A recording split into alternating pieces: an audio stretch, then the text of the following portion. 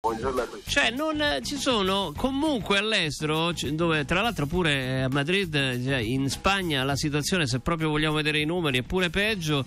Ci sono delle proteste, vanno in piazza, addirittura va in piazza appunto una, una folla di persone eh, capitanata da Miguel Bosé. Ma tu te lo immagini? Te la immagini una storia?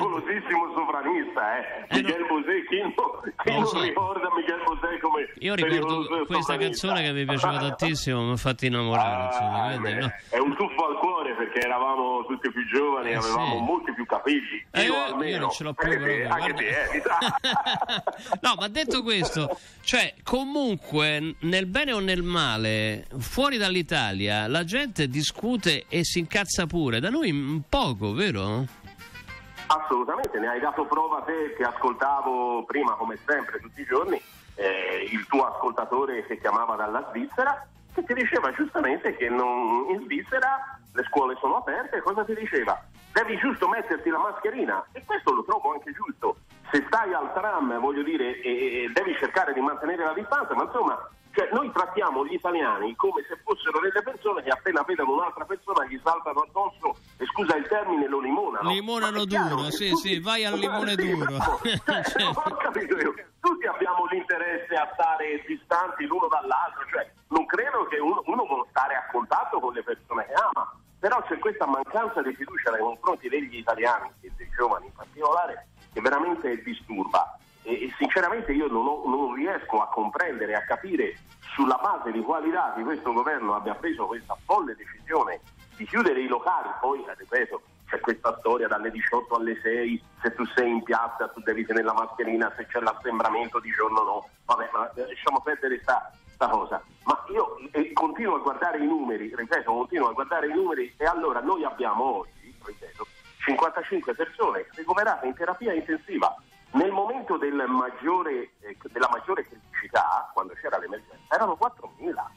Cioè oggi abbiamo 700 persone ricoverate in ospedale, erano 28.000 quando era. Quindi dov'è l'emergenza? Cioè non comprendo, cioè oggettivamente cioè, la comprendo. Allora, que- quelli, comprendo, che, quelli che sostengono l'emergenza dice sì, aspetta che poi ci ritorniamo. Ecco, praticamente Ah, questo. certo. Mm. Eh, io ti do una notizia che purtroppo prima o poi ci sarà un terremoto in Italia perché noi sappiamo che l'Italia Se no, purtroppo guarda, è un paese sismico. ho studiato geologia, che non parla- parli di corda in caso dell'impiccato proprio. Sì, certo, è, è ovvio, non è, non è un'ipotesi, è una cosa certa, certo. Beh, allora che facciamo? Facciamo lo stato d'emergenza perché fra non si sa quando purtroppo arriverà un terremoto. Sappiamo che ci sono i terremoti, dobbiamo conviverci, così come dobbiamo convivere con il virus. Cioè, ma che progresso è questo? Cioè, abbiamo fatto tutto questo progresso per poi per co- cosa? Cioè, cioè, trovo tutto veramente maledettamente antiscientifico. E il bello è che sono quelli che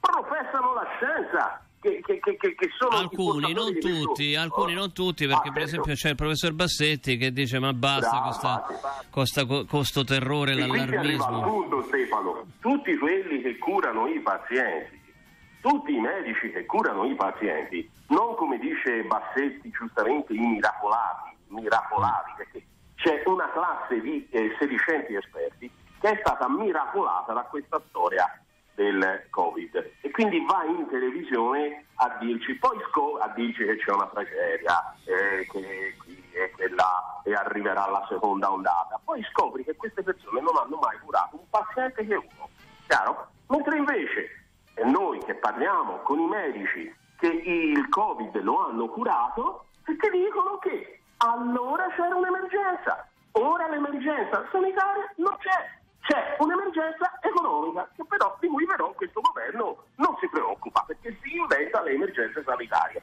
Quando c'era l'emergenza sanitaria non era in grado di gestirla. Ora che non c'è se la inventa per nascondere l'altra emergenza vera, quella economica.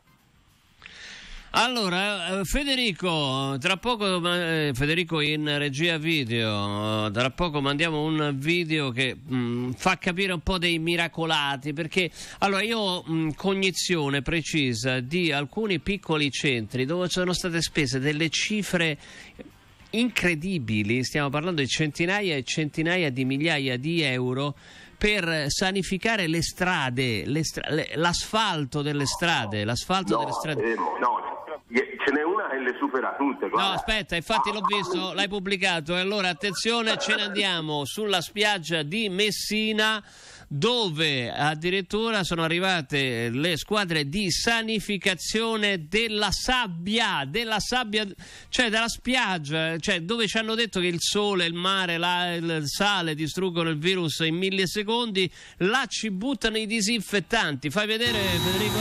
Eccolo qua, guardate. Accendete l'app se non ci credete. Sulla sabbia, a Messina, buttano disinfettanti.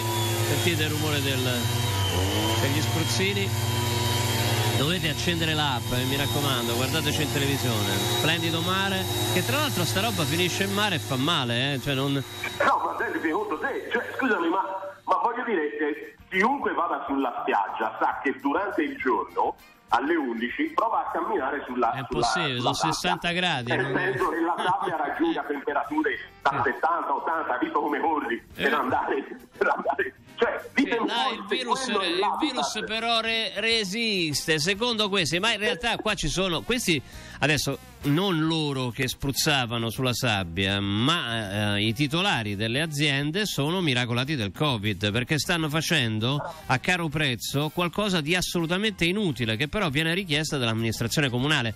Io conosco personalmente eh, eh, piccoli centri in cui sono state spese somme che non erano mai state spese per disinfettare l'asfalto, l'asfalto, anche sull'asfalto si raggiungono, è nero l'asfalto, quindi ancora peggio della sabbia che è chiara, no?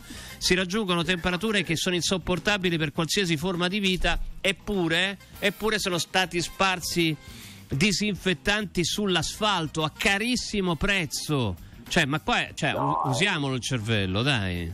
No, us- us- usiamolo veramente il cervello, siamo, siamo alla più assoluta follia e quindi, ripeto di nuovo, c'è una narrazione dell'emergenza sanitaria che fa terribilmente a cazzotti con la realtà. Io devo dirti una cosa, perché ieri hanno è stato pubblicato un, l'ennesimo fatto di cronaca sanitaria strappacuore.